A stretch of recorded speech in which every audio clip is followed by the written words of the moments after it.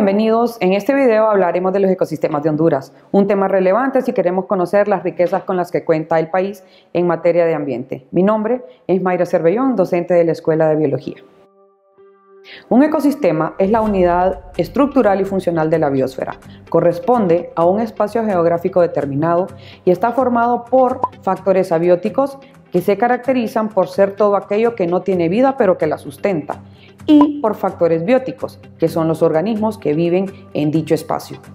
Geomorfológicamente, Honduras es un país que se caracteriza por poseer un conjunto de tierras bajas en el Caribe con planicies inundables que se extienden hacia el interior siguiendo las depresiones entre las cordilleras.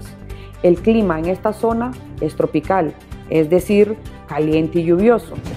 También hay tierras bajas en el Pacífico, pero en menor cantidad y representadas por la línea costera del Golfo de Fonseca, caracterizada principalmente por bosque de mangle y pocas planicies de bosque seco ya bastante fragmentado. Entre ambas tierras bajas se encuentran los valles y tierras altas del interior, que corresponden a la mayor parte del territorio nacional. Se caracterizan por ser tierras poco profundas, erosionadas y ácidas, con bastante bosque de pino y bosque latifoliado en las montañas por arriba de los 1500 metros sobre el nivel del mar. Aunque en esta zona es la que más está representada en Honduras, no se identifican montañas de gran altura, ya que la región más alta del país es la montaña de Celaque, a 2.849 metros sobre el nivel del mar. Los bosques son ecosistemas terrestres que se caracterizan por presentar abundantes árboles, arbustos y matorrales. La mayoría son zonas húmedas y con temperaturas altas. Honduras se caracteriza por presentar una variedad de bosques, aunque en los últimos años se han visto reducidos producto de la tala, los incendios forestales y más recientemente la proliferación de plagas como el gorgojo descortezador. En Honduras podemos encontrar diferentes tipos de bosques. Los bosques húmedos tropicales también se conocen como selvas tropicales o pluviselvas.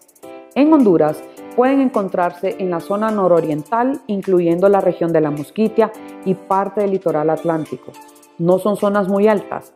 Se pueden encontrar árboles de hojas anchas que forman lo que se conoce como bosques latifoliados en sus partes más altas.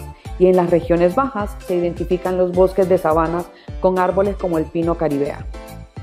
Los bosques nublados se caracterizan porque se encuentran en zonas relativamente altas hasta zonas bastante altas donde predomina la lluvia y permanecen nublados una buena parte del tiempo. Además, predominan los árboles de hoja ancha o latifoliados. En Honduras, los bosques nublados son reconocidos porque representan un buen suministro de agua superficial y subterránea. Además, juegan un papel importante en la regulación del clima de la zona donde se encuentran.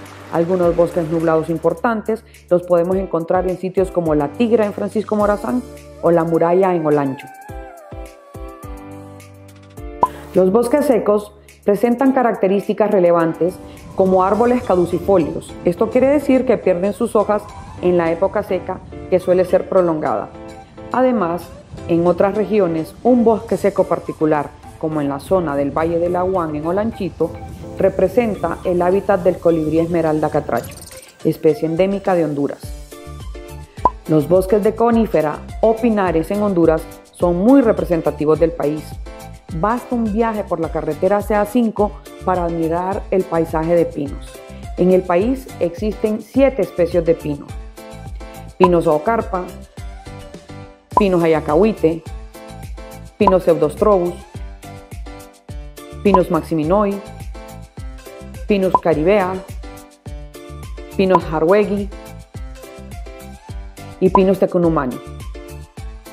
En la actualidad se han visto afectados por la plaga del gorgojo descortezador de la madera o de Droctonus frontalis. Los ecosistemas acuáticos se pueden dividir en ecosistemas de agua dulce y ecosistemas marino costeros. Honduras posee una variada riqueza en ecosistemas acuáticos que en parte se debe a la irregularidad topográfica que permite la formación de dos sistemas de drenaje importantes, el de la zona norte y el de la región del Pacífico, integrados por una cantidad determinada de cuencas hidrográficas. Una cuenca hidrográfica está formada por un río, sus afluentes y por un área colectora de agua. El lago de Yohoa es un ejemplo de ecosistema dulceacuícola. Se trata del único lago natural del país. Las zonas costeras se caracterizan por presentar aguas someras ricas en nutrientes y con un porcentaje alto de especies marinas.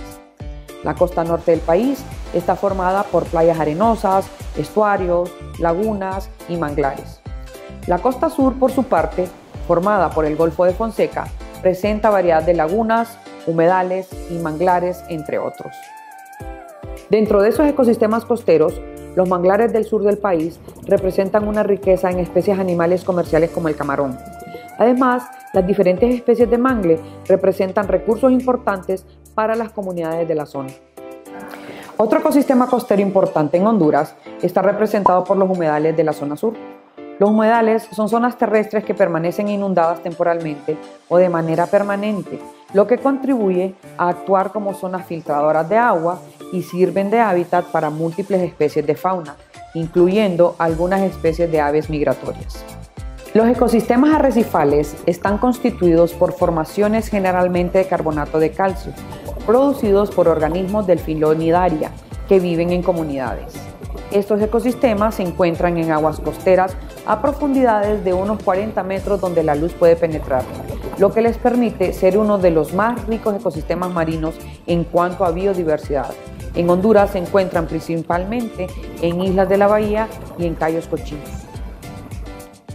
En definitiva, Honduras es un país privilegiado por encontrarse geográficamente en un sitio favorable que le permite tener una diversidad de ecosistemas, lo que contribuye a ser una de las regiones con rica biodiversidad. Como hondureños, es importante que conozcamos los ecosistemas de nuestro país. Hasta la próxima.